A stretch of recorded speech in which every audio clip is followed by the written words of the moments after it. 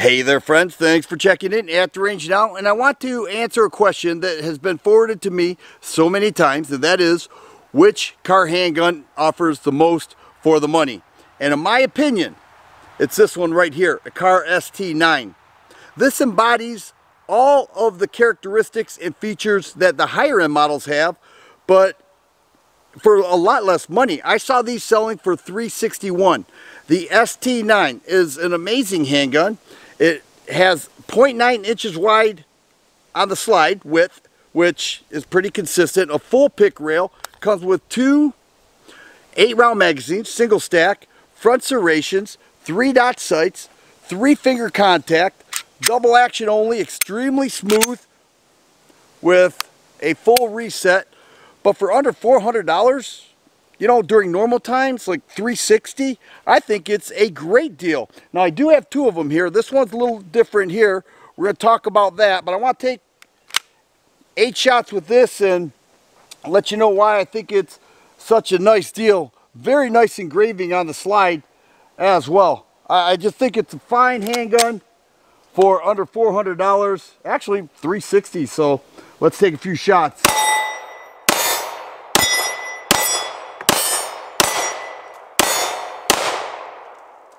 All right, nice handgun. I, I, hold this one in high esteem. Now, this is also a Kahr ST9, but this is called the TIG edition. You can see that it has a Kryptek grip. All right, it's got a little nice, nice look and feel to it. Very different, Cerakoted black slide. It does have some engraving there.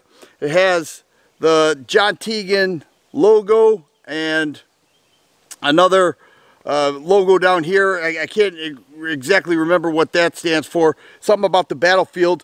The big draw here is that this is a, a limited production and what a portion of the proceeds go to are wounded soldier, soldiers, okay? Wounded warriors, wounders, wounded soldiers. But the gun itself has everything that this model has, okay? They're both Kahr ST9s, all right? But it has this neat look to it. Now, I noticed that they're charging a little more for it because you're getting this certain look to it, certain feel to it, but it's the same handgun. I did see them around $400 and you know, it's got the full pick rail, four inch barrel, three dot sights, two eight round magazines, everything that the other one has, but it has the Kryptek look to it and it's very different. And I like guns that are a little bit different, a little out of the ordinary, and you certainly get this with this TIG model.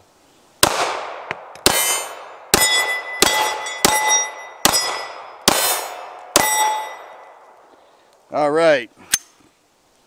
There it is. Now, one of the reasons why I like Kahr handguns is because they offer very low felt recoil. It is extremely light recoil, and that's because the recoil spring is a bit heavier. All right? I don't think it's too bad. You know, a nice firm grip on the slide will charge the gun, but that heavier recoil spring cuts down on the recoil and I want to demonstrate that now.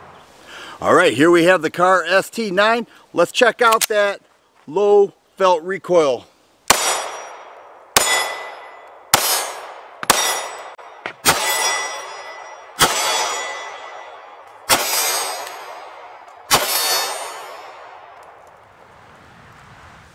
So that's my choice of what I feel is the best Kahr handgun for the money. The Kahr ST9, whether it's the original Kahr model that we're used to seeing or the TIG model. And I, I want to make a correction because back here it says BB. That, that means beyond the battlefield. I just remembered that after I had a mind slip earlier. But that's the TIG model. A lot of people really like the way that looks. I like the way it looks. But I also like this, the Kahr ST9. I think it's an outstanding gun. The S9 has a three and a half inch barrel. This has the four inch barrel with the eight round magazines. And that's my opinion of the best Kahr handgun for the money. If you like videos like this, please subscribe and share. I always appreciate thumbs up button. Thanks for watching and you guys be safe.